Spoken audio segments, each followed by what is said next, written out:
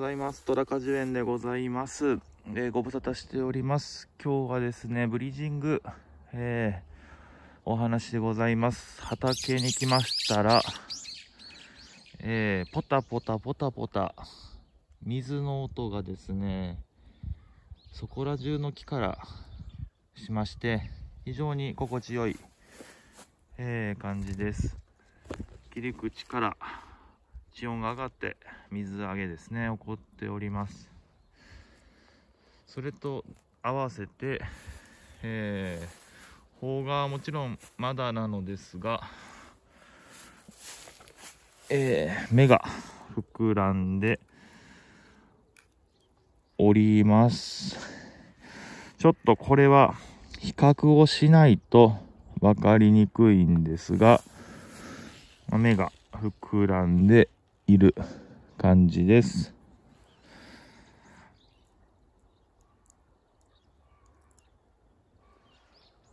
聞こえますかね？水の音がちょっと取れてるかな？どうでしょうか？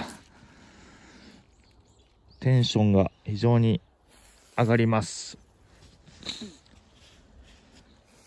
23年目、2023年期のぶどうですね、えー栽培が、まあ、スタートしたような気分です。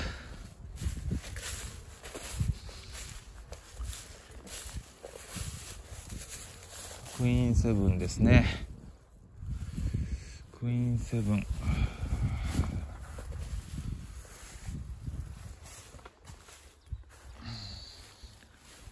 あブリージングありますね。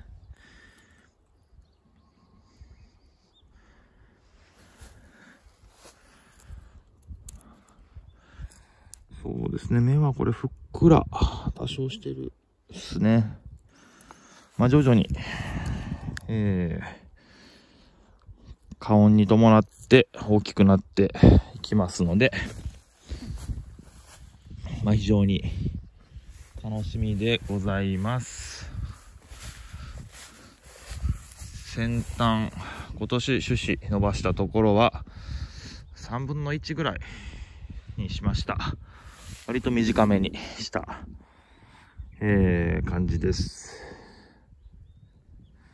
まあ、理由としては欠損を防ぎたいのと、まあ、しっかり根を張らしたい。充実した枝を作りたいということで少なめにしております。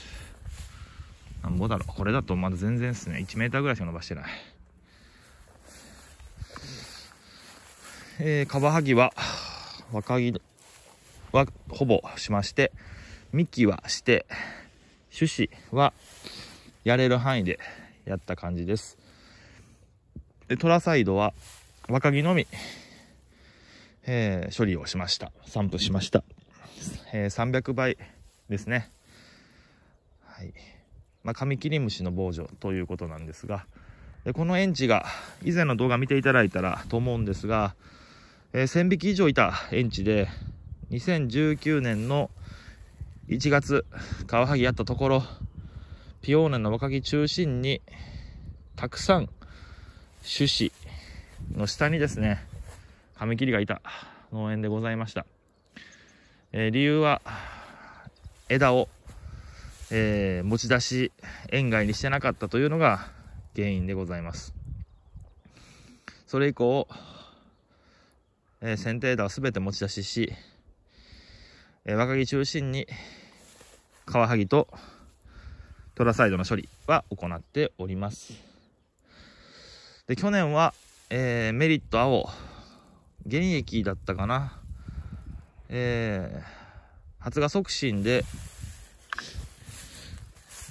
1年生の枝伸びた種子のところには原液で目に、えー、塗布した行きました。そして目傷処理もしました。で、発芽状況を見たときに、えーそこまで変わらなかったので、今年は処理しておりません。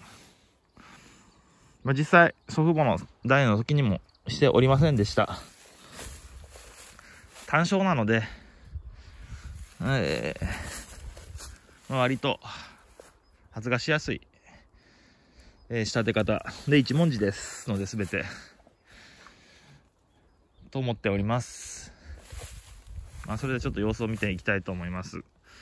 まあとはいええー、5ターンあるんでもう始まったらもう一気に開花までもう1ヶ月中5月の10日前後にはベリー A の一発目のジベ処理がありますのでそのまでに誘引とか花整形したり摘心したり、えー、行くのでもうダーッと作業がありますから まあどこまで観察できるかというところはありますがはいやっていければと思います、えー、前の今年の目標にもありましたが、えー、シャインマスカットの生産量が2000で 650g えー、のあシャインマスカットの生産、甲州へ、えー、そうですね、35流ほどの房を作っていけたらと思います。なので、えー、加水制限に言えば4段12社、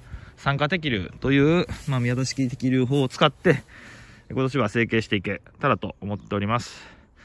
まあ、その他、えー、新品種で言うと、クイーンセブン、長野パープル、まあ、クイーンニーナも私たちは、まあ、植えたばっかなので、えー、まあ、それらが新しく取れる感じですね。で、他植えたのが、ゴールドフィンガー、マイハート、UFO、えー、あともう一個あったな。ヌーベルローズ。